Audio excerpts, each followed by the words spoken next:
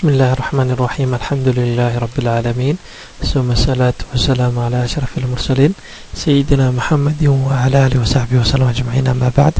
السلام عليكم ورحمة الله وبركاته magacayga waa cantar sayd xuseen waxaan soo wadnay brograamkeeni ahay dagis accounting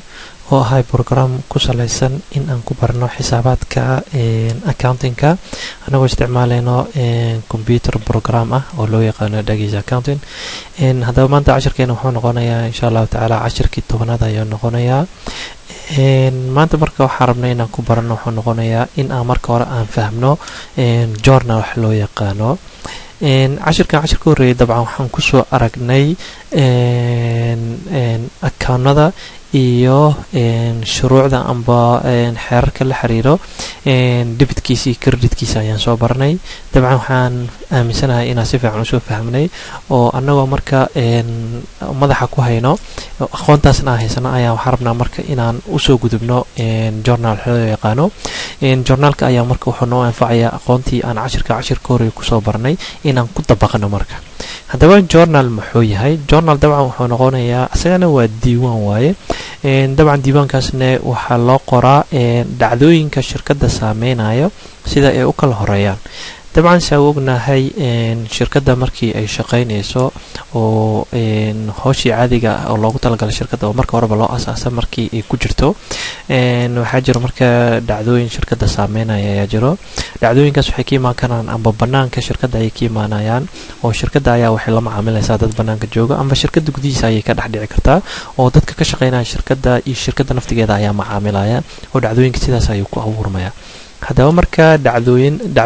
dhacdooyinadaas dhacaya amba banaanka ka yimaada amba gudaha shirkadda ha ka samaysmee waxaa loo baahan yahay marka hore in la diiwaangeliya ayaa loo baahan yahay. Dabcan meesha ugu horeyso marka oo lagu diiwaangelinayo ayaa waxaa loo yaqaanaa journal ayaa loo yaqaanaa. Dhacdo kastoo dhacdo waa in marka hore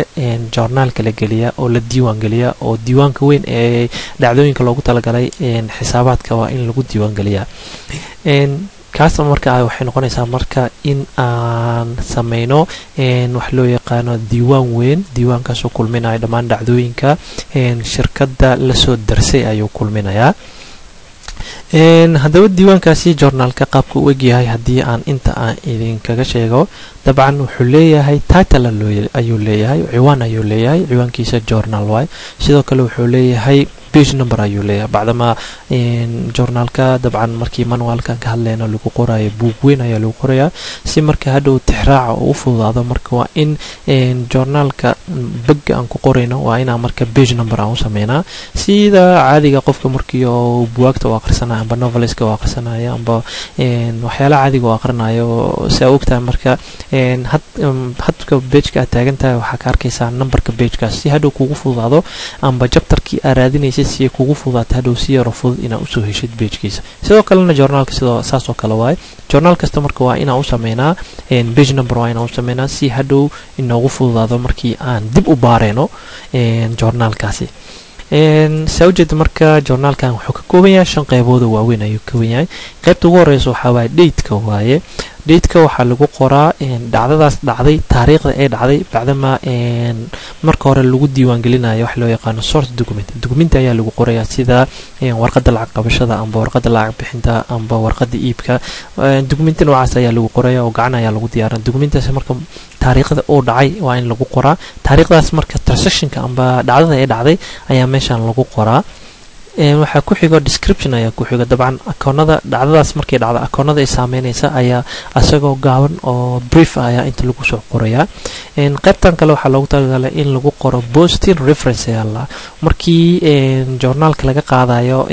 akoonada meeshaan aan ku qornay descriptionkaan ku qornay markaan ka qaadayno oo aan geenayno mid kastaba lajarkiisa amba akoonka oo uga furan lajarka gudihiisa oo diiwaanka lajarka aan uga furnay markaan geenayno ayaan waxaan ku qoraynaa tixraac ayaan ku qoraynaa. Oo journaalkan waxaan ka qaadno oo akoon kale aan geyno waa inaan meeshaan aan ku qornaa marka akoonkaasi akoon numberkiisa saa hore kuugu sheegay akoonka wuxuu leeyahay title iyo number ayuu leeyahay. Marka akoon kastaba marka numberkiisa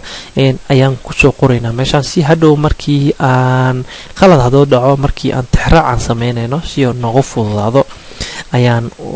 dabcan u isticmaalaynaa dabcan qaybtaani waxaa waa qaybta dhibitka waaye oo akoonkii la dhibit garaynaya lacagtiisa ayaa lagu qorayaa. Dabcan qaybtaani waa qaybtii creditka waaye akoonkii la credit garaynayay lacagtiisa ayaa lagu qorayaa sidaa muuqaalkan ayuu u yaalaa marka journaalka haddii aan marka hore u sii socono inta badan waxaa maqlaysaa marka accountinga markaa ku jirtid oo aad tahay qof xisaabiya amba qaybta finansiga ka shaqaynaysid. Waxaa maqlaysaa journalizing wax loo yaqaan ayaa maqlaysaa oo ah in la diiwaangeliyo dhacdadii dhacday. Amba waxaan dhihi karnaa si kale haddaan u dhigno waa habka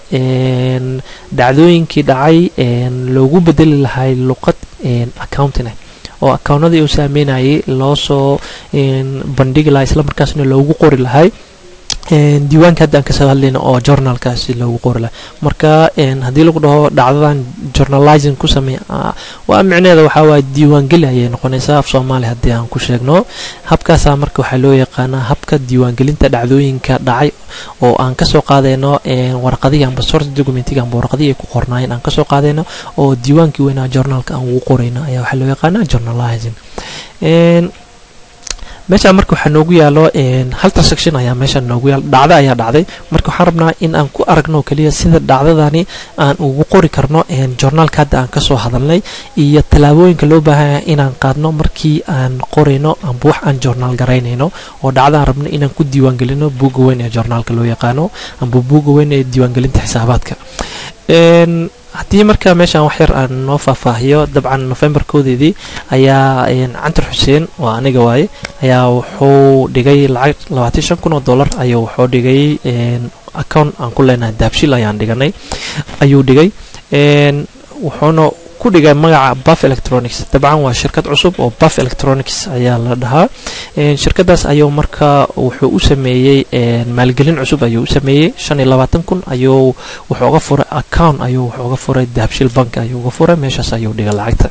Marka waxaan rabnaa marka inaan dhacdadan aan diiwaan waxaa muhiima marka intaana dhacdada aanan diiwaan gelinin in aan horta su'aalo yar aan isweydiino si marka hadhow ay noogu fudaato diiwaangelinta dhacdada. Marka ugu horeyso marka waa inaa isweydiinaa. Horta dhacdadan dhacday meeqa akoon ayay saameynaysaa taas ayaa muhiima marka hore inaa isweydiisid oo aad fahamtid. Dhacdadan dhacday dabcan waxaa waaye labaatan shan kun oo dollar ayaa akown ku yaalla bangiga ayaa la dhigay. Taas micnaheedu waxay noqonaysaa in akown loo yaqaano jacking account amba banki account waxaa rabta ula bax. In lacag lagu shubay ayay noqonaysaa micneeda oo accounkaas jacking accountka uu lacag ayaa la dhigay wuu ziyaaday. Dhanka kale maxay noqonaysaa? Dhanka kale wuxuu noqonayaa qof ayaa shirkad cusub maalgashtay oo lacag cusub ayuu lacag shirkad cusub ayuu wuxuu dhigay lacag ayuu dhigtay. Dabcan wuxuu noqonayaa marka qofkaas cantar xuseen ayuu noqonayaa lacagtaas ayuu maalgashtay. Tan labaadaan rabna marka inaan isweydiino waxay noqonaysaa marka akoonada muxuu yahay marka? Accountka aan ku sheegnay jacking account wuxuu noqonayaa account asset ayuu noqonayaa. Dabcan lacag haddii soo gasho account asset waxaan ku sheegnay in lagu qoraayo dhanka dhibitka in lagu qoraayo. Bacdamaa lacag ay soo gashay accountkan jacking accountka wuuna ziyaadayaa dhanka kale accountka kaloo saameynayo waxay noqonaysaa antar xuseen capital ayuu noqonaya waa account owners equity ah oo capital ayuu noqonaya haddii aan marka xerkiisa aan dib wax u malecsano waxay noqonaysaa marka haddii qofkan maalgelin cusub oo sameeya in loo credit garaynayo oo accountkani equityga in dhinaca creditka uu ka ziyaadayo marka waxaan haysanaa account oo asset ayaan haysanaa oo ziyaaday iyo account equity amba owners equity ah oo asagana ziyaada marka assetkii iyo owners equitygii labada account buu way ziyaadeen mid kastana wuxuu ziyaaday labaatan shan kun oo dollar ayuu ziyaaday oo dabcan dhibidkii kreditka waa inay markastaba isla ekaadaan. Dabcan waxaan ku arkaynaa cashirkan cashir ka dambeeya xeerarka markii wax la diiwaangelinaya loo baahan yahay inaan si fiican u fiirino. Haddaba marka tallaabada ugu horeysa aan qaadayna waxay noqonaysaa marka markaa ima markaan ku qorayno joornaalka meeshaan noogu yaalo. Waa inaan marka ugu horeysa horta dheydka aan qornaa dateka ayaa ugu muhiimsan. Dhacdada dhacday maalintay dhacday dabcan waxaa lagu keenayaa deposit sleep wax loo yaqaano amba warqadda cadeynaysay lacagta lagu dhigay bangiga dahabshiil ayaa lagu keenayaa. Marka taas ayaa marka qaadanaysaa dhacdadaas dhacdada ugu horeysa marka aad ka fiirinayso amba waxa ugu horreeya la raba inaad fiirisid waxay noqonaysaa taariikhda ay noqonaysaa marka marka journaalka ku qoraysidna waa inaa ugu hormarsiisaa taariikhda. Taariikhda markaa qortid waxaa qoraysaa marka descriptionka ayaa waxaa ku qoraysaa accountka la dhibid garaynayo markastaba dhibidka ayaa ka horreeya creditka dhibidka ayaan hor qoraynaa waxa waaye waa practice muhiima waaye. In markastaba haddaa wax journal garanaysid inaad dhibidka a hormarisid sidaas ayaa ay ku wanaagsan tahay waana habka xisaabiyaasha isku waafaqsan yihiin waaye oo inaad ka bilaawdid oo dhibid a gadaal aa ka dhigtid dabcan waxba dhib ma keenayso laakiin qaabka la isku fahmay islamarkaasna la isku waafaqsan yahay ayay ka mid tahay haddaba marka markaa dhibidka accountka la dhibid gareynaya aa qortid waa inaa lacagtiisa hore aa ka qortaa oo ah shan iyo labaatan kun oo dollar. Okay tallaabada saddexaad aa qaadaysa waxay noqonaysaa accountkii la credit gareynaya iyo lacagtiisa ayaa qoraysaa oo waxaa ku qoraysaa accountka la credit gareynayay qaybta descriptionka ayaa ku qoraysaa lacagtiisana waxaa ku qoraysaa dhinaca creditka ayaa ku qoraysaa oo shan iyo labaatan kun ayaa meeshaas ku qoraysaa tallaabadaas saddexaad marka qaadid tallaabo afraada ku dhiman oo ah waxaa qoraysaa marka faahfaahin yar ayaa qoraysaa oo dhacdadan waxay tahay. Dabcan inta faahfaahinta noogu qoran waxay noqonaysaa in la maalgeliyo shirkad loo yaqaano buff electronics ayay noqonaysaa. Haddaba faahfaahintaas ayaa hadhow waxay u fududeynaysaa qofkii raba inuu fiiriyo amba kaa jeegareeyo waxa aad ku qortay diiwaankan diiwaan xisaabeedkani in uu fahmi karo oo waxaani ay ka tarjumayso waxa aa qortay ayay noqonaysaa oo faahfaahintan yar ayaa qofka waxay ka caawinaysaa inuu si fiican u sii fahmo akownada amba dhacdada meeshan ka dhacday oo meesha aa ku qortay. Dabcan waxay noqonaysaa marka khulaasa ayay noqonaysaa soo koobida ayay noqonaysaa haddii aan marka hore u sii socono waxaan fahmaynaa marka haddii aan soo aragnay journal wuxuu yahay journalizing aan soo aragnay oo hal dhacda aan soo journal garaynay oo aan buga diiwaanka aan ku soo qornay amba buga diiwaanka xisaabaadka aan ku soo qornay tallaabada labaad marka waxay noqonaysaa inaan fahmno wax loo yaqaano bostin haddaba bostin maxaa ahayd bostin dabcan wuxuu noqonayaa marka dhacdadii hadda aan ku soo qornay journaalka markii aan ka soo qaadno journaalka oo aan ku qorno akoonadii ku yaalla lejarka oo dabcan journaalka haddaan soo aragnay laba dhacda laba akoon ayuu saameynaya marka markii aan marka aan daatadii meeshaas ku qorneed oo aan ka soo qaadno journaalkaasi oo aan ku qorno lajarkeena amba akoonada noogu yaalo lajarka markaan ku qorno ayaa waxaa loo yaqaanaa amba habkaasi amba broseskaasi ayaa waxaa loo yaqaanaa postin ayaa loo yaqaanaa marka ugu horeysa horta waa in aan furnaa account waa inaan u sameynaa account waa inaan account furnaa. Dabcan waxaan ku hor bilaabaynaa marka inaan diiwaan gelino accountka debitka oo ah cashkiina soo galay. Markii aan u marka account ti account markaa u accountkan cashka checking accountka waxaan qoraynaa marka taariikhda iyo lacagtii soo gashay oo dhinaca debitka ahay ayaan waxaan ku qoraynaa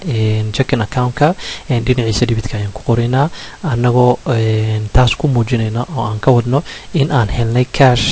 shirkadda ay soo gashay cash oo dollar ah dhanka kale marka waa inaa u gudubnaa marka qaybta labaad ee dhacdadii dhacday oo ah qaybta saameynaysa dhinaca creditka waa inaa marka aan furnaa cantar xuseen capital waa inaan furnaa oo account aan furnaa qofkaasi shirkadda maalgashtay intaa kadib waa inaa marka aan qornaa taariikhdii iyo lacagtii oo maalgashtay waa dhinaca creditka cantar xuseen accountkiisa waa inaan ku qornaa annagoo taas aan ku muujinayno in aan ula jeedno in qofkani cantar xuseen amba qofkan ownerka in uu lacag maalgashtay islamarkaasna lacagtiisa ay ziyaaday annagoo ku muujinayno ayaan waxaan ku qoraynaa marka dhinaca creditka ayaan ku qoraynaa dabcan hadda waxaan ka soo sheekeynay journal iyo sida loo journal gareeyo waxaan ka soo hadalnay bostinka ayaan ka soo hadalnay iyo qaabka loo bost gareeyo.